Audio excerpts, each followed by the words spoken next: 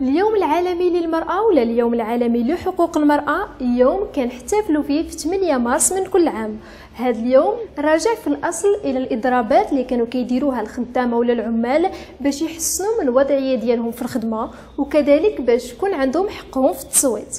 فهذا اليوم العالمي هو يوم ديال الاحتجاجات والإضرابات في جميع أنحاء العالم وهو كذلك فرصة للنساء باش نقيموا الوضع ديالهم في جميع المجالات سواء تعلق الأمر بالمجال السياسي ولا الاقتصادي ولا حتى الاجتماعي.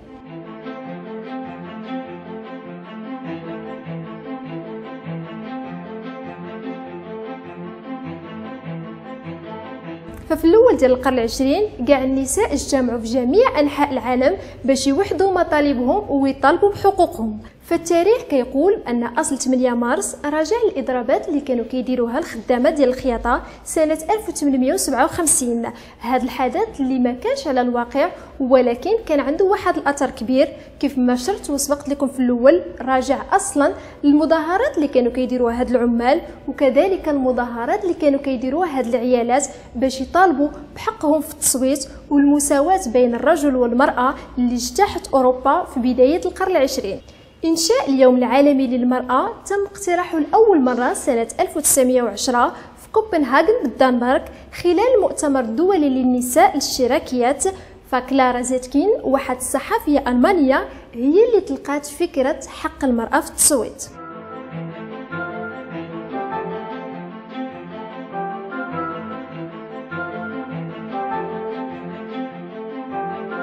هاد التاريخ اللي ما تحددش الموعد ديالو حتى لسنة 1917 من بعد الإضرابات اللي داروها عمال سان بيترسبورغ في 8 مارس. هذا الموعد اللي بقى محتفظ به لينين باش يصدر مرسوم يوم العالمي للمرأة سنة 1921 باش يكرم النساء اللي داروا مظاهرات في نفس التاريخ من سنة 1917 واللي تسبت في اندلاع الثورة الروسية. هذا الاحتفال اللي غادي يمتد لجميع بلدان الكتلة الشرقية السابقة فمن خلاله كيقدموا للمرأة وردة من طرف الإبن ولا الإبن الأكبر ولا الأصدقاء ولا حتى الزملاء في العمل.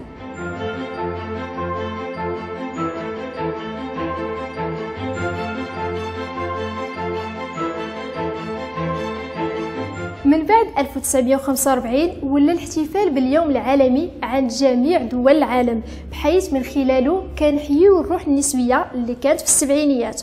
وأيضا فهو كيتعتبر يوم ديال الاحتجاجات في جميع أنحاء العالم ومن خلاله كنحاولوا نقيموا الوضع ديال المرأة خلال هاد السنوات.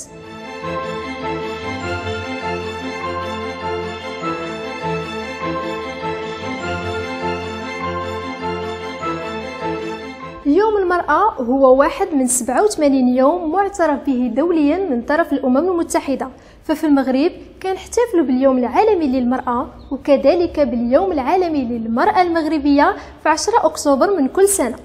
في 1998 قرر صاحب الجلالة الملك محمد السادس الاحتفال بهذا اليوم من خلال صدور مدونة الأسرة. هذه المدونة اللي جات باش تحيي الظلم على المرأة وتحمي حقوق الطفل وكذلك تحفظ كرامة الرجل. وفي الأخير كنبغي نقول جميع نساء المغربيات والنساء العالم كل عام وأنتم بخير.